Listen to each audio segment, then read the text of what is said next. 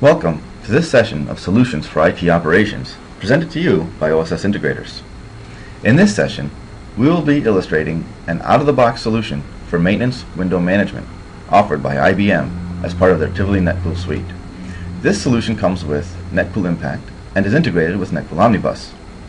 In this session, we will simply illustrate how to configure a maintenance window as well as the positive impact that utilizing this functionality can have on the events your operation center may be dealing with. So let's jump right in. What you can see on the screen now is a dashboard created to highlight components of this solution. In the top row, we have four event filters, three out of the box and one custom created for this demo. We have the All Events filter, Last 10 Minutes, Actionable, and In Maintenance. The Actionable filter is the one we've created for this demo. As we can see, there's also only one event here. Wouldn't that be great?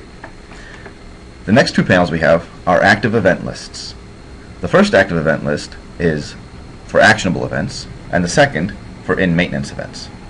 As we can see, in the active event list for actionable events, there's one event.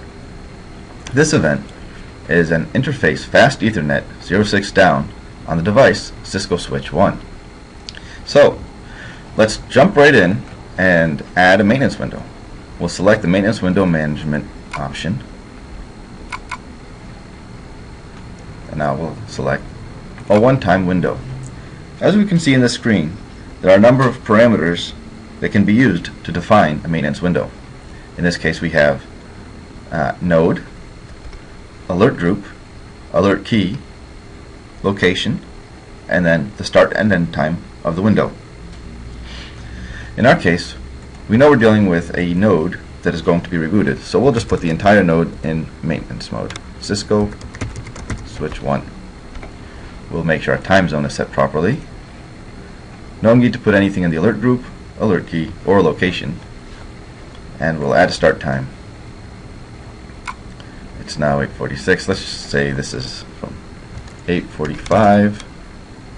We'll give them a 10 minute window until 8.55.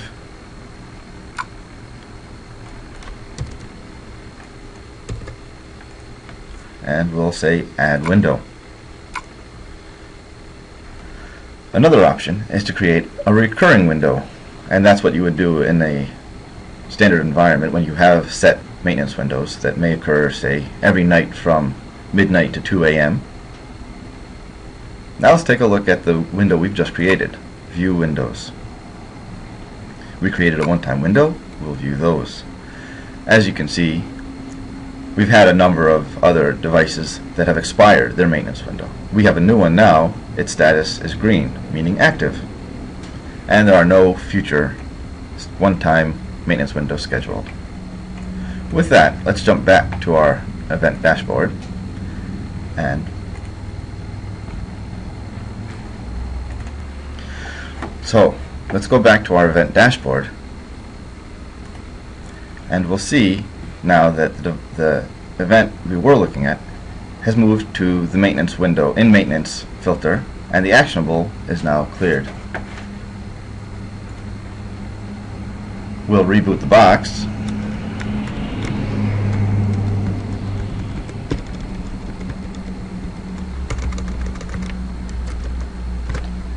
inserting a number of events to simulate this with uh, 24 port switch, we should see each of those ports coming down. Let's refresh our screen here. And we can see 24 events coming in to our in maintenance window. If we'd like to see them all, we can select this and we see, pick our maintenance window view, we see all of these interface fast Ethernet 01 through 024 down.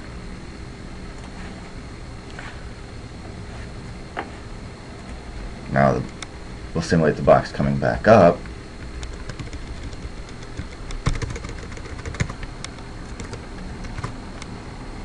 And let's see what happens here now. We'll refresh our screen and we see they've all cleared. Oh, looks like interface fast Ethernet 06 has not cleared and this has not resolved our problem. Well, We're not sure what we're going to do now, but as this maintenance window ends, the interface FE06 down will come back to our active actionable events. Now that our maintenance window is expired, we refresh these events, refresh our view.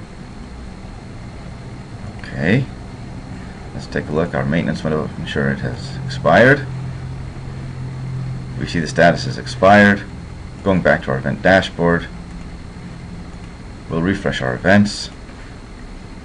The event list seems to be refreshing a little slower, but we can see here in the actionable filter, our one event is populated, in maintenance is empty, and now, as we refresh, we'll see Fast Ethernet 06 is still down.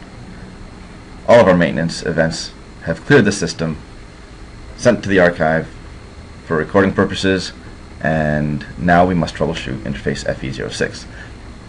What we've illustrated here is an out-of-the-box solution from IBM for implementing a maintenance window.